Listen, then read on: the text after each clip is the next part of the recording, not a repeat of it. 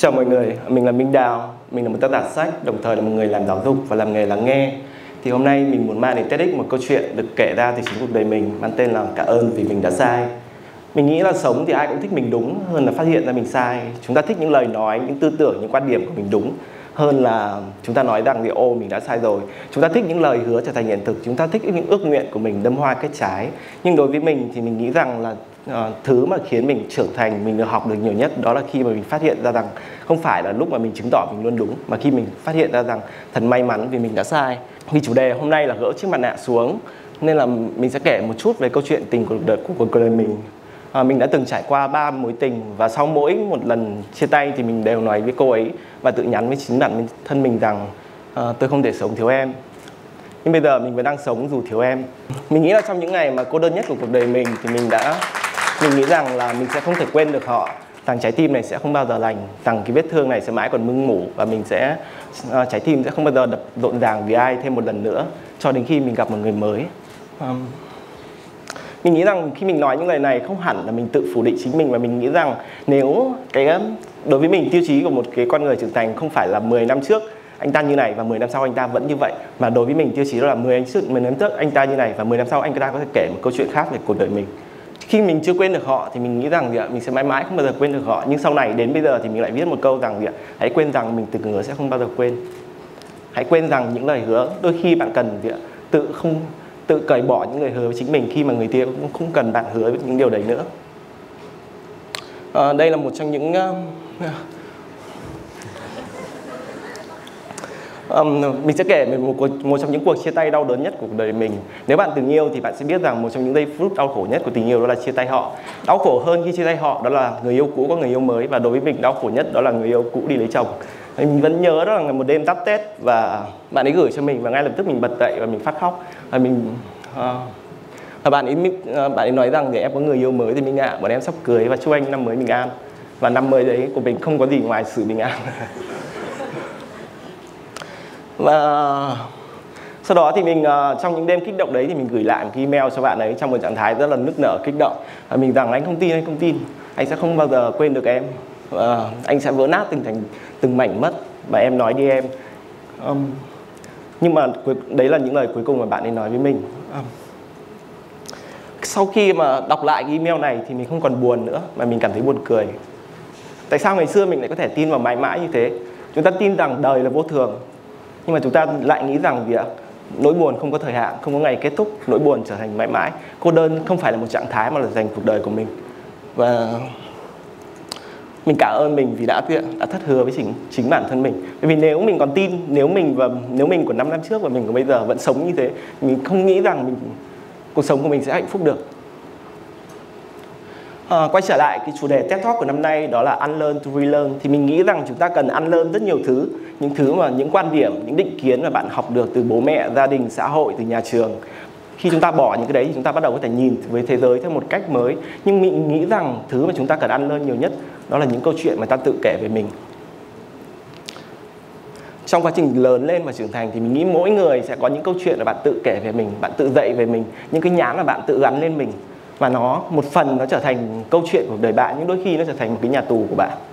Đây là một trong những mình sẽ kể một câu chuyện mà mình ăn lơ được nhiều nhất. Đó là mình có một nghề tay trái đó là nghề lắng nghe.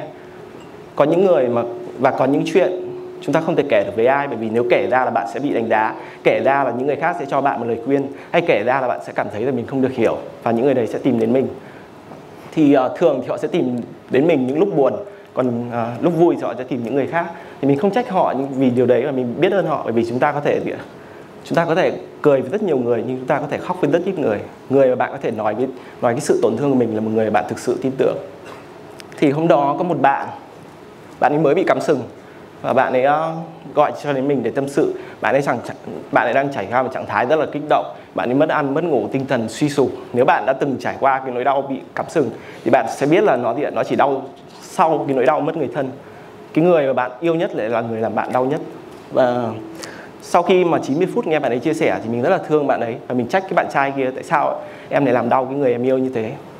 Nhưng cái cú ngoặt đó là một tháng sau, cái người bạn trai đã gây ra đau khổ cho bạn này, lại tìm đến mình và lại kể một câu chuyện và bắt đầu mình hoang mang. Thế bây giờ mình nên kết án ai bây giờ? Ai là nạn nhân? Ai là tội phạm? Mình nên đứng về phe nào? Và đây là một cú twist nữa đó là một tháng sau tiếp cái bạn trà xanh cái nhân vật mà chia đôi cuộc tình này lại gọi cho mình lại cần à, anh Minh muốn em muốn nghe tâm sự em muốn được trải nỗi lòng. Và đây là lúc mà mình học mình cần phải ăn lơn mọi thứ mà mình học biết về về đạo đức về quan điểm của chúng ta thế nào về một người thứ ba về uh, về một cái người đàn ông bạc tình và một, về một người phụ nữ đau khổ. Thế bây giờ mình nên về phe ai? Các bạn sẽ về phe ai? Khi bạn nghe được cả ba câu chuyện này rồi. Và đó là một trải nghiệm mà mình ăn lơn tất cả những thứ mình đã học về à, về tình yêu và sau lúc đó thì uh, mình nghĩ rằng mình đã cảm ơn mình vì đã không tin quá tin vào bản thân. Vì vì bạn tưởng tượng nếu mình lắng nghe cái bạn trà xanh đấy cái bạn phá vỡ cuộc tình đấy với cái trạng thái là vẫn những định kiến của ngày xưa chẳng hạn thì làm sao mình có thể gì ạ? Mình có thể thông cảm mình có thể đồng cảm với họ mình cho phép họ quyền được làm con người với những nỗi đau của riêng mình. Mình nghĩ rằng mỗi chúng ta đều có những câu chuyện mà chúng ta tự kể về mình. Đó là khi mà bạn đến một vòng tròn và ai đó hỏi bạn là hãy giới thiệu về bản thân mình đi bạn sẽ có một đoạn đoàn bạn tua đi tua lại ở khắp các nhóm ở khắp mọi thời điểm. Và đến 10 năm sau bạn vẫn tua đi tua lại câu chuyện đấy. Mình cũng có những câu chuyện đấy. À, mình gọi đó là chính những chiếc nhãn mà chúng ta tự dán lên mình. Chúng ta bảo người khác là đừng dán nhãn lên người khác. Nhưng mà chúng ta quên rằng chính ta mới là người tự dán nhãn lên mình rất là nhiều.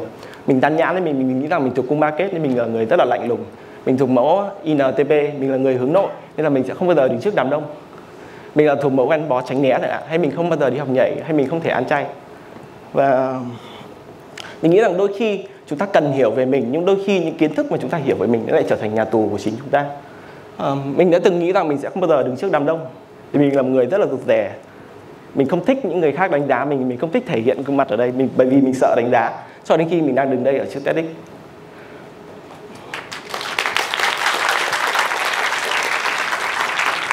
À, một nhà phân tâm học người Anh tên là Adam Phillips thì ông nói rằng gì ạ? Ông ấy nói về việc nhu cầu không cần quá hiểu bản thân mình. Ông ấy nói rằng khi mà mọi người nói rằng tôi là kiểu người này người kia thì trái tim của ông ấy luôn trùng một nhịp. Đó là những công thức mà chúng ta có khoảng chục công thức về chính bản thân mình. Chúng ta là ai chúng ta thích gì chúng ta là kiểu người như nào và tất cả những cái đống đó. Nhưng mà cái khoảng cách giữa gì ạ, những cái công thức đó về bản thân bạn và cách mà chúng ta trải nghiệm cuộc sống ngay bây giờ từng phút một thì gì ạ, nó giống như kiểu khoảng cách đấy rất là khổng lồ và nó giống như kiểu những cái bức mô tả tới một bức tranh ấy. Thì đúng là bạn cần nhìn những cái mô tả đấy. Nhưng mà bạn cái bạn cần thực sự đó là gì? nhìn vào bức tranh. Bây giờ mình mình mời bạn trải nghiệm bức tranh này. Bạn không cần là một người hướng nội bạn không cần là một người gia đình hạnh phúc bạn không cần là một uh, thuộc mẫu gắn bó nào đấy để bạn trải nghiệm bức tranh này. Để trải nghiệm bức tranh này bạn cần quên đi mình là ai. Thay vì việc nhớ về những câu chuyện là bạn luôn tự kể về mình. Một câu chuyện khác mà mình cảm ơn vì mình đã sai. Mình nghĩ trước đây mình sẽ không bao giờ lên tiktok. Mình viết chính trên facebook vì vì tiktok, vì mình nghĩ rằng tiktok là nơi của những người, của thế hệ gen z của việc chúng ta lên đó để để để giải trí. Cho đến khi một ngày tự nhiên um, có một bạn, một bên phỏng vấn mình và mình đi lên tiktok mình nói và tình cờ nó viral một cách nào đó được gần một triệu view và ngay lập tức mình thay đổi quan điểm. Ồ, từ giờ mình sẽ lập một kênh tiktok. Và ngay hôm đó mình lên shopee đặt một chiếc đèn và chiếc uh, một cái giá đỡ để về tự quay tiktok cho mình. Thì mình nghĩ rằng mình mình lại biết ơn vì mình đã sai một lần nữa bởi vì mình cho phép mình sống nhiều hơn mình cho phép mình linh hoạt nhiều hơn. Mình không còn thoát mình đã thoát ra khỏi được câu chuyện mà mình luôn kể về chính mình. Và lúc đó mình mình thấy thật vui vì mình đã sai không phải là gì ạ thật vui vì mình đã đúng. Mình cho rằng ấy, trưởng thành là quá trình mà chúng ta gây bất ngờ cho chính mình tới đâu. Mình nghĩ một câu chuyện buồn là một câu chuyện như này. Ờ, 2010 một người hỏi bạn bạn là ai? Và bạn có một đoạn văn. 2015 một người hỏi bạn là ai? Bạn lại có một đoạn văn giống hệt. 2020 một người hỏi bạn là ai? Và bạn lại có một đoạn văn giống hệt. Và đến 2080 chẳng hạn, bạn lại có một đoạn văn giống hệt. Thì mình nghĩ rằng đó là khi chúng ta sống một cuộc đời lặp đi lặp lại như thế, thì chúng ta thì à, tất nhiên là nó, khi chúng ta quá trung thủy với câu chuyện của mình thì nó cũng tốt theo một nghĩa nào đấy, nhưng mà nó nó không có sự thay đổi, nó không có sự sai khác. Bạn của ngày hôm qua và bạn của ngày hôm nay vẫn là như thế. Mình thì mình thích một cuộc đời mà người ta dám thử nghiệm sống nhiều hơn mỗi ngày mỗi tháng mỗi năm câu chuyện của bạn nó lại sai khác đi một tí. Bạn dùng những từ khác để mô tả về mình. Và mình nghĩ đó là một quá trình trưởng thành. Đó là quá trình lớn lên. Bởi vì mình nghĩ thì chỉ có nhờ sai lầm thì chúng ta mới tự xé những cái nhãn mà chúng ta tự bao quanh mình. Và nhờ đó thì, thì bạn mới phá được khỏi cái kén. Cái kén ở đây là gì? Cái kén không hẳn là những thứ mà bố mẹ môi trường gia đình mà tạo ra cho bạn mà là cái kén của những câu chuyện bạn tự vẽ ra cho mình. Và nhờ sai lầm thì bắt đầu bạn thoát ra khỏi cái kén đó vì ờ, chủ đề của buổi hôm nay cũng là việc gì ạ? Chúng ta gỡ mặt nạ. Nên là mình sẽ kể một câu chuyện. Khi mình ờ, trước cách đây khoảng 10 phút mình đứng lên sân khấu này thay vì nói rằng mình là một diễn giả rất là tự tin rất là truyền cảm hứng rất là muốn chia sẻ nóng lòng chia sẻ câu chuyện các bạn thì mình đứng trong kia mình run lập cập. Và mình uh, uh, mình sợ hãi mình run rẩy. Có một tiếng nói rất to trong mình nói rằng thôi minh ơi hãy bảo tự nhiên mày ốm và mày đi bệnh viện đi để mày thoát được khỏi cái này. À, mày sẽ làm một trò lố đấy bởi vì gì ạ mày đang làm mở màn và không chỉ cho lố trước 100 người mà còn gì ạ mà, mà nó còn được lưu danh trên youtube. À, vì trải nghiệm của mình tin rằng thì đôi khi mình không cần quá tin vào những suy nghĩ của mình. Đôi khi những suy nghĩ chỉ là những suy nghĩ. Nên là mình mình mình vẫn quyết định bước ra đây để kể câu chuyện của mình. Và một lần nữa thì mình lại cảm ơn vì mình đã sai hy vọng là đến phần cuối như này thì mình đã có một cái bài học gì đó cho các bạn một câu chuyện một ý tưởng gì đó cho các bạn. Và hy vọng một ngày các bạn sẽ cảm ơn rằng uh, không phải vì tôi luôn đúng mà vì, ờ, vì tôi đã sai. À, mình rất là biết ơn tất cả mọi người đây để lắng nghe.